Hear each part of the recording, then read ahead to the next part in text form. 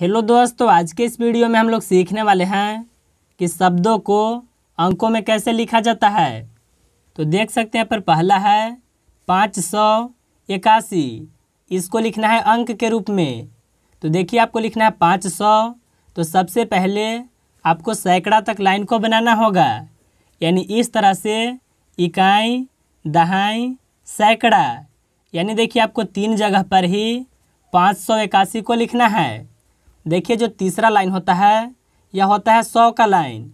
यहाँ पर देखिए पाँच सौ है तो यहाँ पर लिखेंगे पाँच को। अब देखिए यहाँ पर लिखना है इक्यासी को तो यहाँ पर लिखेंगे इक्यासी को, यानी यह हो गया पाँच सौ इक्यासी। तो चलिए अब हम लोग दूसरा को भी लिखने के लिए सीख लेते हैं। यहाँ पर देखिए है चार हज़ार तीन सौ दो। तो सबसे पहले आपको चार हज़ार तक लाइन को खींचना है। इकाई, दहाई, सैकड़ा, हज़ार। देखिए जो चौथा स्थान होता है, वह होता है हज़ार का। तीसरा स्थान होता है सौ का। यहाँ पर देखिए चार हज़ार है तो हज़ार का स्थान यह है तो यहाँ पर लिखेंगे चार को। अब देखिए यहाँ पर है तीन सौ। तो देखिए सौ का स्थान यह होता है तो यहाँ पर लिखेंगे तीन को। अब देखिए यहाँ पर दो है तो दो को लिखेंगे यहाँ पर। देखिए यहाँ पर खाली है तो यहाँ पर हम लोग ज़ीरो को भर देंगे। यानी देखिए, यह हो गया चार हज़ार तीन सौ दो।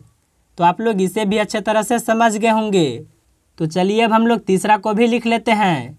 यहाँ पर देखिए है, अठारह हज़ार छः सौ चालीस।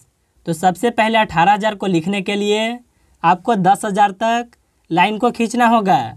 इकाई, दहाई, सैकड़ा, हज़ार, दस हज़ार। देखिए, तीसरा स्थान जो होता है, वह होता है सौ का। इसके बाद यह दो लाइन जो होगा, यह होता है हज़ार का। यहाँ पर देखिए, लिखना है अठारह हज़ार। तो यहाँ पर लिखेंगे अठारह को। यह हो गया अठारह हज़ार। इसके बाद देखिए, लिखना है छः सौ। तो देखिए, सौ का स्थान जो है, यह होता है। तो यहाँ पर लिखेंगे छः को। अब देखिए, अंत में लिखना है चालीस। तो यहाँ पर लिखेंगे चालीस को। यानी देखिए, यह जो लिखा हुआ है, यह है अठारह हज़ार छः सौ चालीस। तो चलिए अब हम लोग चौथा को भी लिख लेते हैं। यहाँ पर देखिए है, सात लाख चार हज़ार दो सौ बीस। तो सबसे पहले हम लोग लाख तक लाइन को खींचेंगे। इकाई, दहाई, सैकड़ा, हज़ार, दस हज़ार, लाख। यहाँ पर देखिए सात लाख है तो देखिए, यह जो लाइन होगा, यह होगा लाख का, यह दो लाइन जो होगा, यह होगा हज़ार का, और देखिए, यह जो लाइन होगा, यह होगा सौ का। यहाँ पर देखिए, लिखना है सात लाख। तो देखिए, लाख का स्थान यह है तो यहाँ पर लिखेंगे सात को। अब देखिए, यहाँ पर लिखना है चार हज़ार। देखिए, हज़ार का दो लाइन होता है तो आपको यहाँ पर लिखना है चार को। अब देखिए, यहाँ पर खाली है तो यहाँ पर हम लोग ज़ीरो को लिखेंगे। यानी देखिए, यह हो गया सात लाख चार हज़ार। अब देखिए, यहाँ पर लिखना है दो सौ। देखिए, सौ का स्थान यह होता है तो यहाँ पर लिखेंगे दो को। अब अंत में देखिए, लिखना है बीस को तो यहाँ पर लिखेंगे बीस। यानी देखिए, यह जो लिखा हुआ है, यह है सात लाख चार हज़ार दो सौ बीस। तो चलिए, अब हम लोग पाँचवा को भी लिखने के लिए सीख लेते हैं। यहाँ पर देखिए है तीन करोड़ बारह लाख आठ हज़ार चार सौ पैंतालीस। तो सबसे पहले हम लोग करोड़ तक लाइन को खींचेंगे। यानी इकाई, दहाई, सैकड़ा, हज़ार, दस हज़ार, लाख, दस लाख, करोड़।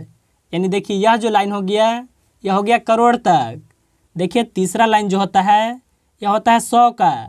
इसके बाद यह दो लाइन जो है, यह होता है हज़ार का।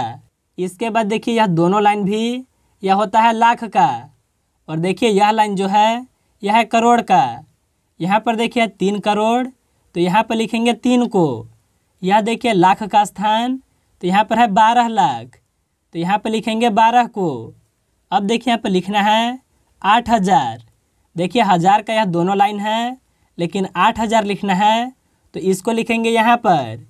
और यहाँ पर भरेंगे ज़ीरो को। अब देखिए यहाँ पर लिखना है चार सौ पैंतालीस। देखिए सौ का स्थान यह होता है तो हम लोग चार को लिखेंगे यहाँ पर। अंत में देखिए पैंतालीस तो इसको लिखेंगे अंत में। यानी देखिए यह जो लिखा हुआ है, यह है तीन करोड़ बारह लाख आठ हज़ार चार सौ पैंतालीस। तो आप लोग अच्छे तरह से समझ गए होंगे कि शब्दों को अंकों के रूप में कैसे लिखा जाता है।